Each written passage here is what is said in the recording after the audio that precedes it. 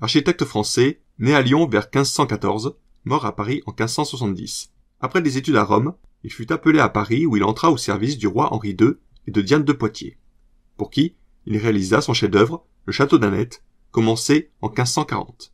Évincé dans sa fonction de surintendant des bâtiments par le primatis, il revint en faveur sous Catherine de Médicis, pour qui il construisit le corps central du palais des Tuileries entre 1564 et 1567. On lui doit aussi, entre autres, des travaux au château de Chenonceau et de Fontainebleau.